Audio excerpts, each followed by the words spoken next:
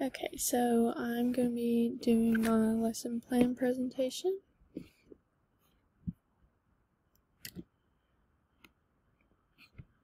My state standard is partition circles and rectangles into 2, 3, and 4 equal shares.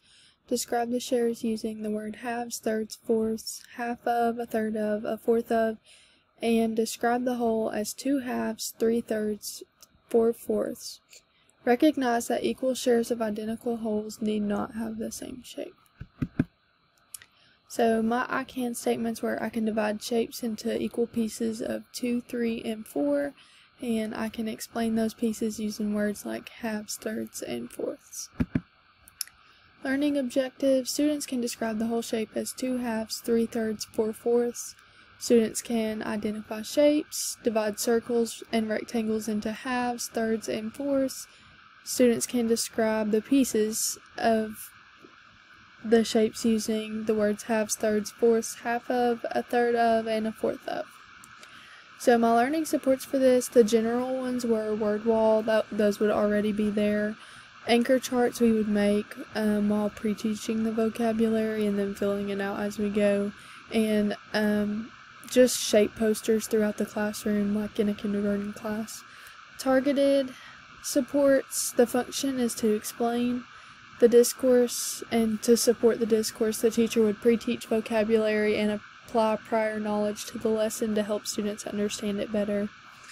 Individual supports, the teacher will write vocabulary words on index cards with the word and definition in English on one side and the native language on the other. This could help students who are English language learners.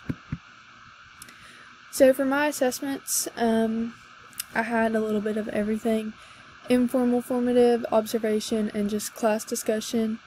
Um, I find that students learn a lot from class discussion, so I definitely wanted to incorporate that.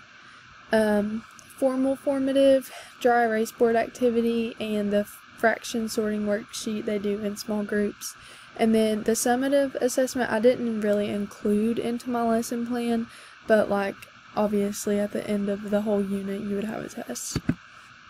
So the key language task was to think, pair, share, and just the discussion time um, for the worksheet and um, just talking before the worksheet to get students to understand the material. And I also included a photo of my fraction worksheet.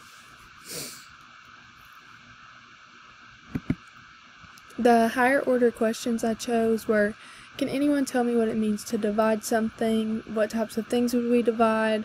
Why would we ever need to divide something? Um, why is it important for us to understand how to divide things? Um, I chose those four as like the beginning of my lesson, and then the last three. Where do we see divisions in our everyday lives? What's another word we could use to describe dividing something? Can you think of other ways to represent fractions? Those would be more towards the end whenever you are um, summarizing the lesson and checking for understanding.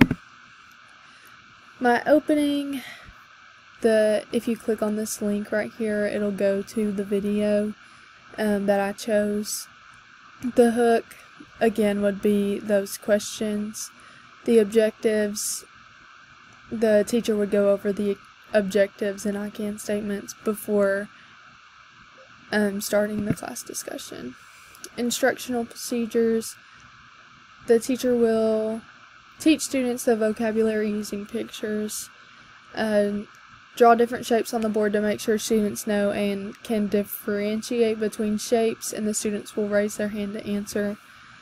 Um, the teacher will show the shapes to the students that are divided into two, three, four pieces and the students will raise their hand to explain the given shapes as two halves, three thirds, and four fourths.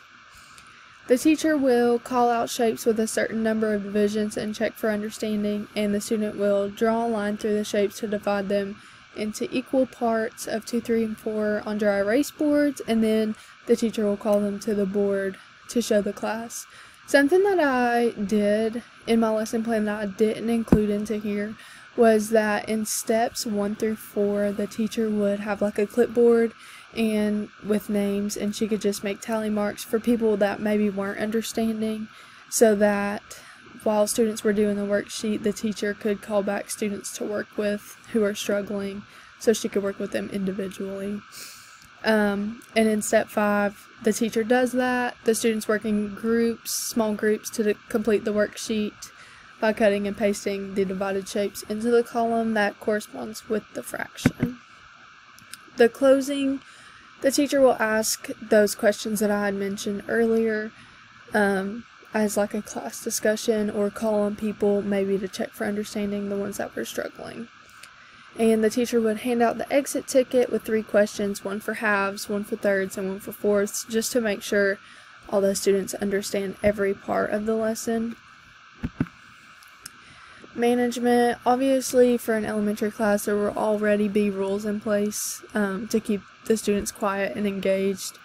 Uh, for transitions, um, students already know to come to the carpet or will in my classroom, and then before or after the video before going back to their seats there will be like a when I say go you will go quietly and safely to your seat and then give a reward to the one who does it best um, strategies for gaining attention I like the um, one two three eyes on me or hocus pocus time to focus especially around Halloween they always love that motivating engagement. Watching the video helps students, or most students, because um, kids nowadays love technology. Um, allowing students to draw on their dry erase boards um, is so enjoyable, enjoyable for them. They love it.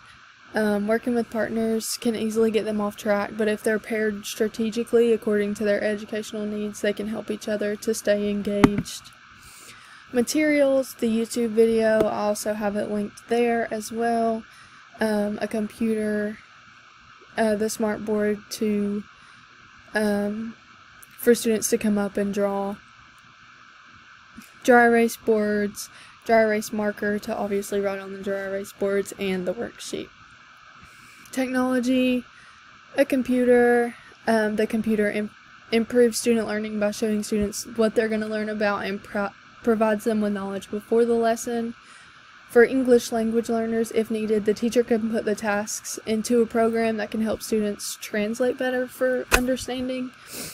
Um, I use PowerPoint and Procreate and Canva to create um, the slides I would show on the board, and then um, Microsoft Word, Procreate to design the worksheet and exit ticket. I use Canva to make this presentation.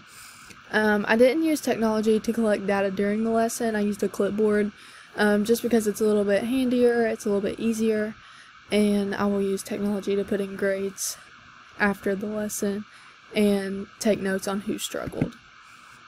The theory, rationale, um, the teacher modeling first is one of Vygotsky's theories, and there's um, the zone of proximal development. The students making real world connections um, is Piaget.